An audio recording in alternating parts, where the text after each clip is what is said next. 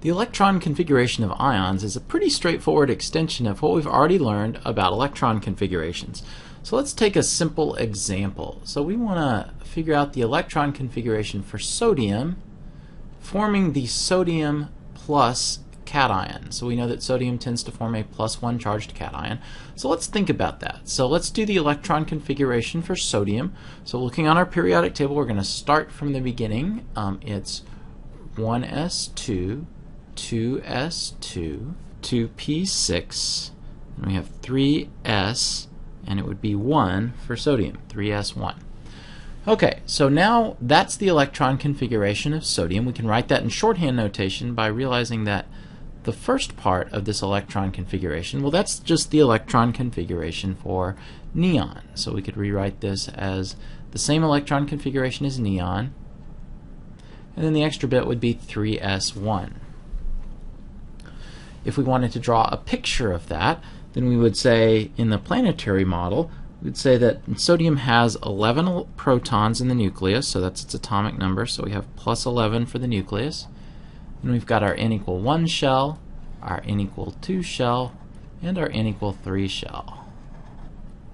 So now we're going to draw in our electrons. So the electron configuration tells us that we've got two electrons in the n equal 1 shell, um, eight electrons in the n equal 2 shell. One, two, three, four, five, six, seven, eight, and then one electron in the n equal 3 shell.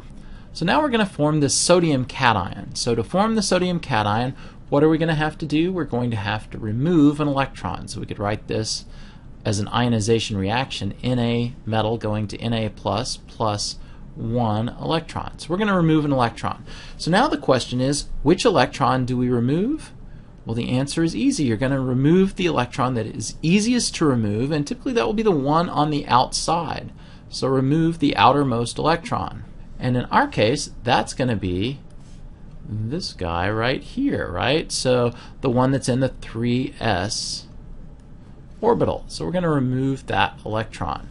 So if we move remove that electron, um, what would be the electron configuration that we would get? Well, it would be 1s2, 2s2, 2p6, and then we might write 3s0 just to remind us that we've taken an electron away, but usually we will omit this part. And what you notice is that now the electron configuration of the sodium cation is the same electron configuration as neon. Very good. So let's consider another example. Let's imagine that we've got an oxygen atom and we're going to take two electrons and give them to the oxygen atom to make oxide, O2 minus. So we know that oxygen typically forms a negative 2 charged ion. So if we look at the electron configuration again for oxygen, um, we're going to use a shorthand notation here. Go ahead and do that. So here's the electron configuration of helium. Then it's 2s2, 2p, and we count over on the periodic table 1, 2, 3, 4. So 2p4 is the electron configuration for just an oxygen atom. So now what we're doing is we're adding two electrons. So where are those two electrons going to go? Well, they're going to go in the outermost shell. So if we're moving the outermost electrons, when we're adding electrons, we're going to add them to the outermost shell. So that's going to give us an electron configuration that's this for um, oxide. That's the same as helium then it's 2s2, and then 2p, and we had 4, and now we've added 2 electrons to it, these two guys, and so we've got 2p6, right? All right, so if you think about it, this electron configuration is now the same as the electron configuration of neon again. So one way that we could say that this electron configuration for this ion is the same as that for neon, and this electron configuration is the same as that for neon, we use the term isoelectronic, just to mean um, any uh, species that has the same number of electrons. So um, sodium plus is isoelectronic with neon, and it is also isoelectronic with oxide. So they all have the same number of electrons as neon. Well, that doesn't mean they're going to behave exactly that way, right? Because they've got different charges, they've got a different uh, nuclear charge in their nucleus, so their behavior may be very different, but in terms of the number of electrons, they have the same numbers. So iso means same there. And so that's the way we uh, figure out the electron configurations of ions. We'll do a couple of other special cases. We'll look at some transition metals, but I wanted to real quickly highlight a very important point that we've just discovered. So, way back when we first started learning about ions and elements, we learned that there were patterns that particular elements tended to form uh, certain kinds of ions. So, for example, the group 1 metals tend to all form uh, plus 1 charged cations, right? The halogens, group 7, they tend to all form negatively 1 charged anions. So, if we think about it, um, there might be a reason for that. If we look at the noble gases, uh, the noble gases are group 8, right? Group 8 on the periodic table. They tend to be very unreactive. So they don't tend to lose or gain electrons or want to share them with any other chemicals. So they tend not to form bonds to many other things. So our conclusion is that group 8, and so those are the noble gases, must be particularly stable because they are so unreactive.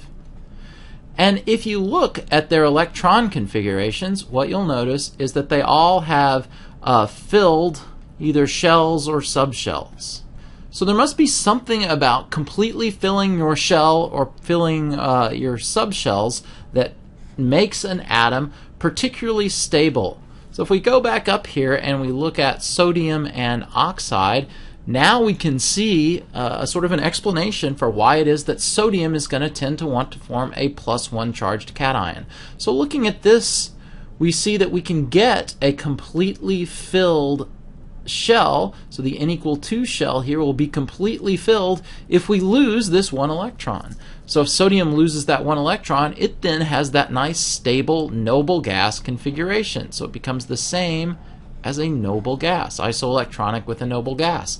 That must be particularly stable.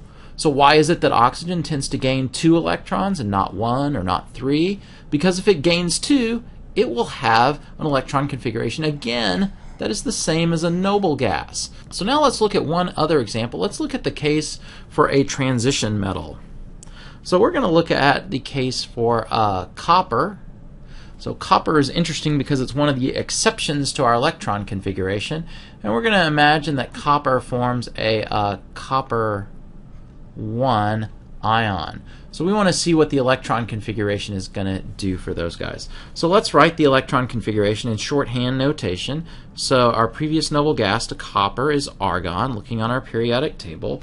And then we're at 4s and we would think it would be 4s2 and then counting over on copper it would be 3d9 but we've learned that that is not the electron configuration because there's an exception for copper so it's argon 4s1 3d10 so filling this 3d subshell there's a particularly good reason for wanting to do that. Filled subshells are particularly stable. Alright, so there's the electron configuration for plain old copper, and we want to form, so that would be for copper, and we want to form the copper plus ion. So again, we need to remove an electron, right? So the way we've written this electron configuration, you may be tempted to remove the electron from that 3d orbital, but resist that temptation. Don't do that, right? because this 3D orbital is not the outermost shell. So these 4s electrons, on average, are further away from the nucleus. So they are probably going to be the one that we remove first. So remember, we always take electrons away from the outer shell. We always add electrons to the outer shell. So find the shell that has the biggest n quantum number and add or remove electrons there. So the uh, configuration that we're going to get when we remove that electron is going to be argon and then 4s0, but normally we will just leave that out. And then we would just say 3d10. So that would be the configuration of the copper plus ion. So we end up with one of these half-filled uh, subshells, no, completely filled subshell, 3d10.